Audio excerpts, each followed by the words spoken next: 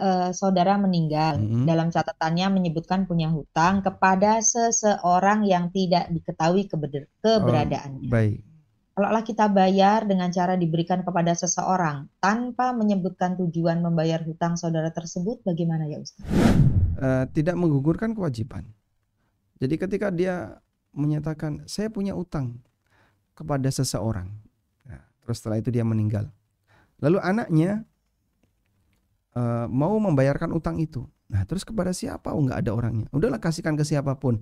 Ya, nggak bisa. Tidak menggugurkan kewajiban. Terus yang benar gimana, Pak? Tunggu sampai ketemu siapa pemiliknya. Nah, caranya umumkan.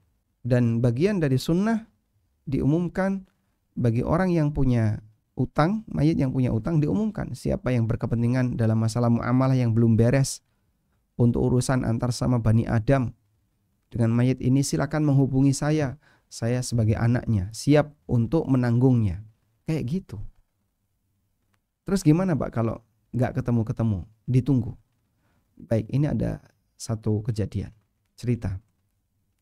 Abdullah bin Zubair radhiyallahu anhu beliau ketika bapaknya meninggal Az-Zubair Ibn Awam ketika Az-Zubair Ibn Awam meninggal itu meninggalkan banyak utang sehingga saat Abdullah bin Zubair ditinggal mati oleh ayahnya, dia sebagai anak pertama harus berusaha untuk menyelesaikan utang ayahnya.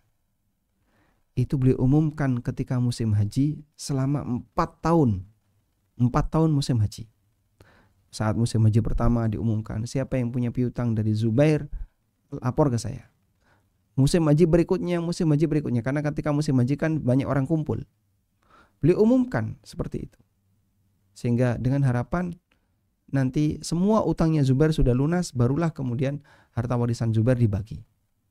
Ternyata sampai empat tahun, uh, wallahu alam apakah beliau ketemu orang atau tidak, ketemu pemilik piutang atau tidak, saya nggak tahu. Tapi yang jelas beli umumkan selama empat tahun. Nah selesai empat tahun, kemudian utang-utang itu dibayar, masih ada sisa dalam jumlah banyak, terus dibagikan kepada anak dan eh, istrinya sebagai warisan karena masih sisa banyak setelah utangnya dilunasi. Wallahu alam. Haji Furoda bareng Ustadz Amin Nurbait hanya 18.000 US dollar.